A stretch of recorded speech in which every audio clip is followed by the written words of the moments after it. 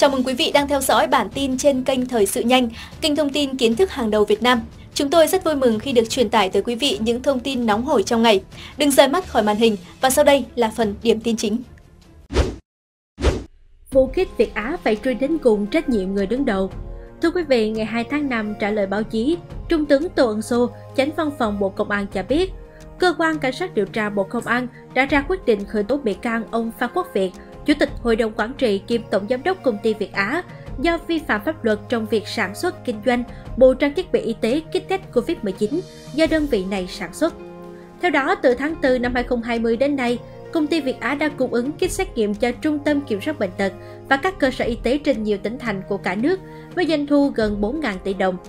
Tại tỉnh Hải Dương, tính từ tháng 2 đến tháng 11 năm 2021, CDC Hải Dương đã thực hiện hợp thức ký hợp đồng và thanh quyết toán cho công ty Việt Á 5 hợp đồng cung cấp vật tư, thiết bị y tế, tổng số tiền gần 151 tỷ đồng. Đổi lại, ông Tuyến được nhận phần trăm là gần 30 tỷ đồng. Vụ việc trên gây bức xúc dư luận về hành vi nhận hối lộ của cán bộ là quản lý trong lĩnh vực y tế và trục lợi của đơn vị sản xuất kit test COVID-19. Nhiều vụ việc liên quan đến tham nhũng trong lĩnh vực y tế từng bị phanh phui, đưa ra xử lý, nhưng nhiều cán bộ vẫn không chuộng tay, Câu hỏi đặt ra là chúng ta phải có biện pháp cụ thể như nào để giải quyết triệt để vấn đề trên. Trao đổi với phóng viên tạp chí điện tử Giáo dục Việt Nam, Thiếu tướng Phó Giáo sư Tiến sĩ Lê Văn Cương, Nguyên Viện trưởng Viện Nghiên cứu Chiến lược Bộ Công an Việt Nam cho rằng, những vụ phạm tội trong lĩnh vực mua sắm thiết bị y tế bị phát hiện và khởi tố liên tiếp cho thấy có nhiều vấn đề, cho dù chúng ta đã giáo dục tuyên truyền rất nhiều. Các cuộc họp tập chỉnh đốn đã giúp cho cán bộ đảng viên tiến bộ lên rõ rệt. Tuy nhiên, vẫn còn một bộ phận cán bộ tiếp tục tha hóa, không thấy việc xử lý các vụ việc trước đó làm gương. Đảng ta cũng có nhiều nghị quyết về chống tham nhũng, như trong nhiệm kỳ 12, chúng ta có 4 nghị quyết của Trung ương về xây dựng chỉnh đốn đảng và chống tham nhũng. Trong một nhiệm kỳ 4 năm rưỡi, chúng ta đã xử lý 113 cán bộ cấp cao. Điều này chứng tỏ quyết tâm chính trị của đảng là rất cao, đúng như Tổng bí thư Nguyễn Phú Trọng đã nói là không có vùng cấm ngoại lệ, không ngưng nghỉ. Rõ ràng việc đấu tranh trong nhiệm kỳ thứ 12 là củng cố lòng tin của cán bộ đảng viên và nhân dân đối với đảng. Thiếu tướng Cương nhận định, dịch Covid-19 là kẻ thù chung của nhân loại nên mọi dân tộc quốc gia đang gồng mình lên chống dịch. Người Việt Nam chúng ta cũng có những hình ảnh rất đẹp thể hiện sự đoàn kết quyết tâm chống dịch. Ví dụ như hình ảnh cụ già mang con gà, mớ trâu đến tặng cho lực lượng ở các chốt phòng chống dịch Covid-19. Tinh thần cộng đồng tính bao dung đạo lý của người Việt Nam trong khó khăn luôn như vậy – trong khi đó, một số quan chức vẫn lợi dụng dịch bệnh để trục lợi tham nhũng. Từ đây chúng ta rút ra một điều là hệ thống giám sát quyền lực của ngành y tế, sự giám sát việc đấu thầu ở các địa phương không hiệu quả. Một nguyên lý của chính trị học là quyền lực không được giám sát thì bị tha hóa. Cho nên điều thứ nhất sau những vụ xảy ra trong lĩnh vực y tế, điều quan trọng nhất là phải kiểm tra lại hoạt động của lực lượng y tế. Thiếu tướng Cương nhận định, Bộ Y tế và thanh tra các cục, vụ chuyên ngành là hệ thống giám sát kiểm tra đảng, đoàn, Bộ Y tế là hiệu quả rất thấp. Tôi đề nghị các cơ quan có trách nhiệm phải quy định trách nhiệm cho những cá nhân như đồng chí nào chịu trách nhiệm về mảng này phải đứng ra nhận trách nhiệm, chứ không thể nói dùng được. Chúng ta phải xử lý một số cán bộ công khai minh bạch trong cả nước. Bên cạnh đó, ông cũng đề nghị Bộ Nội vụ, Ủy ban Kiểm tra của Đảng Ủy ban Bảo vệ Chính trị Nội bộ của Đảng, Ban tổ chức Trung ương Đảng giúp đỡ ngành y tế, điều chỉnh bổ sung ngay hệ thống văn bản pháp luật liên quan đến mua sắm thiết bị y tế, kể cả hóa chất. Bộ trưởng Bộ Y tế phải chủ trì tổng kiểm kê lại quy trình, quy chế văn bản xung quanh việc mua sắm thuốc, trang thiết bị y tế.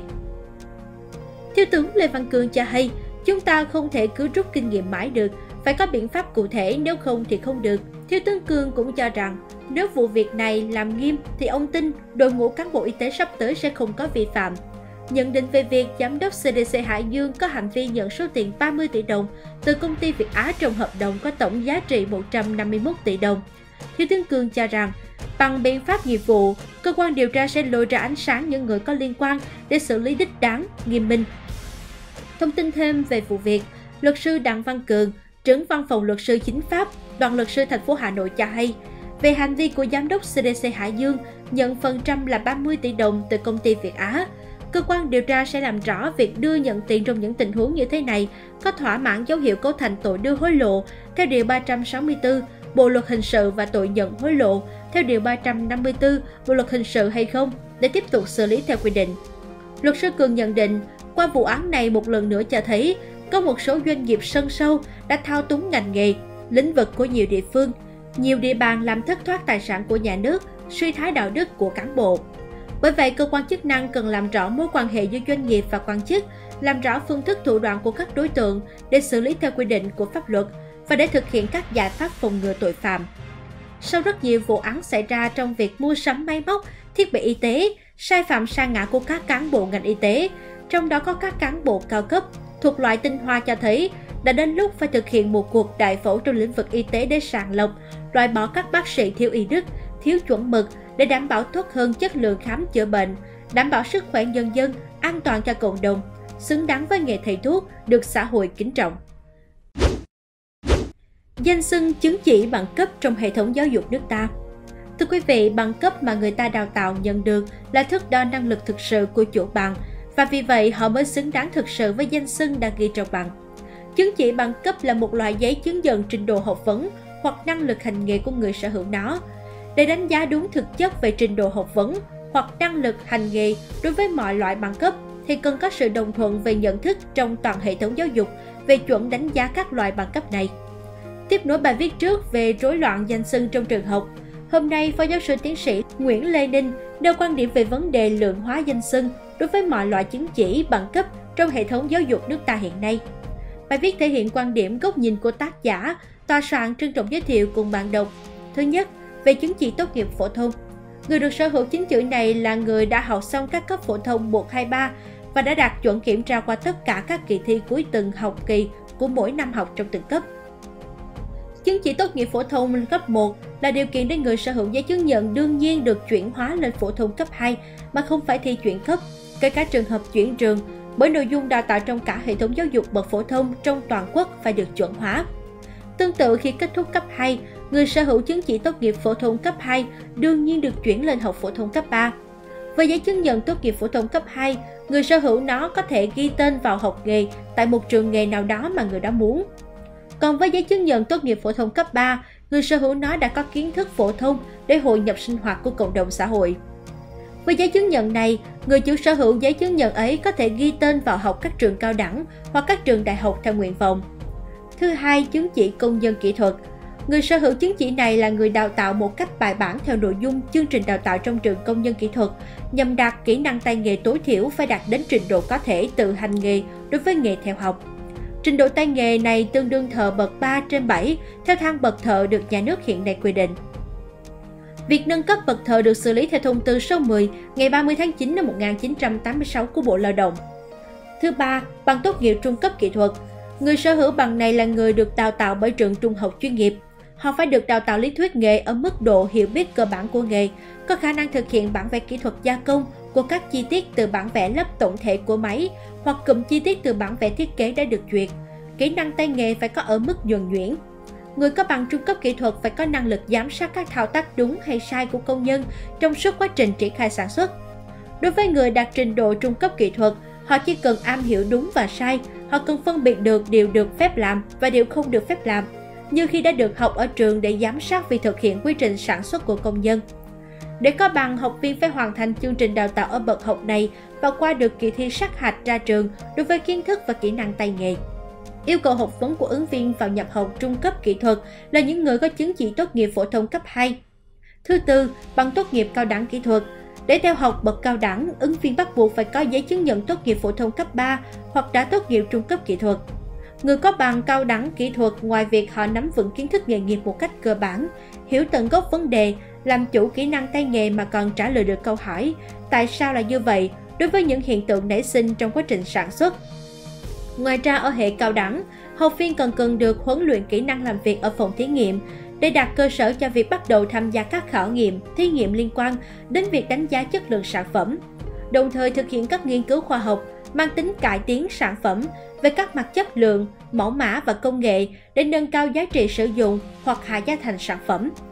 Kỹ năng làm việc ở phòng thí nghiệm của người có bằng cao đẳng kỹ thuật cũng là một lợi thế khi có điều kiện học liên thông lên bậc đại học kỹ thuật. Để được nhận bằng cao đẳng kỹ thuật, học viên cao đẳng kỹ thuật phải viết và bảo vệ khóa luận tốt nghiệp hay viết báo cáo tốt nghiệp sau khi hoàn thành chương trình đào tạo của bậc cao đẳng. Đồng thời, phải hoàn thành thời gian thực tập điều hành sản xuất tại nhà máy, công xưởng hoặc tại phòng kỹ thuật của các đơn vị sản xuất trong vai trò giám định kỹ thuật hay chuyên viên kỹ thuật. Thứ năm, bằng tốt nghiệp đại học kỹ thuật. Đối với những người tốt nghiệp trong các trường đại học kỹ thuật thì có danh xưng là kỹ sư. Người kỹ sư có thể hiểu biết tường tận đến bản chất của những kiến thức khoa học kỹ thuật liên quan nghề học. Ngoài ra, họ phải thông hiểu kỹ năng tay nghề liên quan, có kỹ năng thực hành trong phòng thí nghiệm chuyên môn liên quan, biết ứng dụng phương pháp nghiên cứu khoa học trong các đề tài nghiên cứu phát triển sản xuất và biết làm báo cáo khoa học, có kiến thức về phương pháp luận sáng tạo. Đồng thời có khả năng thiết kế hoàn chỉnh một sản phẩm và phải vạch ra được các bước tiến thành thạo, tạo nên sản phẩm một cách hợp lý, phù hợp điều kiện trang thiết bị của các cơ sở sản xuất, nguồn lực lao động để tiến hành làm ra sản phẩm thuộc ngành nghề được đào tạo. Để nhận được bằng kỹ sư, học viên phải hoàn thành chương trình đào tạo nghề ở bậc đại học và trước khi làm đồ án tốt nghiệp, họ phải vượt qua một đợt thực tập hành nghề ở nhà máy, công xưởng hoặc công ty sản xuất trong vai trò kỹ sư điều hành sản xuất. Và họ phải trình hội đồng chấm tốt nghiệp một bản đồ án mà nội dung đồ án tốt nghiệp này phải phản ánh được kết quả ứng dụng các kiến thức đã được nhà trường trang bị và tự trang bị ở bậc đại học. Nhằm giải quyết một phương án kỹ thuật cho việc phát triển một sản phẩm hoặc nghiên cứu góp phần đặt cơ sở lý thuyết cho sự phát triển của một sự vật một vấn đề nào đó được người hướng dẫn chỉ định hoặc bản thân học viên tự xác định và người được hướng dẫn chấp thuận. Để được đào tạo ở bậc đại học, ứng viên là người đã có chứng chỉ tốt nghiệp phổ thông cấp 3 hoặc có bằng trung cấp kỹ thuật hoặc cao đẳng kỹ thuật. Thứ sáu là bằng cử nhân. Cử nhân được dùng để chỉ danh tính một loại bằng cấp của những người tốt nghiệp đại học của một số ngành, ví dụ cử nhân kinh tế, cử nhân văn chương, cử nhân luật, cử nhân toán, lý, hóa sinh, vân vân nhưng sẽ không ai gọi là bằng cử nhân ô tô, bằng cử nhân chế tạo máy, bằng cử nhân xây dựng. Nhiều người băn khoăn rõ ràng cùng tốt nghiệp đại học, nhưng người nhận bằng cử nhân, người nhận bằng kỹ sư, vậy sự khác biệt là gì? Tôi cho rằng danh xưng cử nhân là dành cho những người tốt nghiệp đại học mà sản phẩm họ làm ra để cống hiến cho xã hội, là những sản phẩm thuộc phạm trù tư duy, phù hợp quy luật phát triển khách quan về phạm trù xã hội và đạt ngưỡng thông tuệ. Sản phẩm tư duy này là sản phẩm thuộc dạng vật chất vô hình, chỉ có thể viết ra trên giấy mà không thể sờ mó, cầm nắm, cân đo đong đếm được.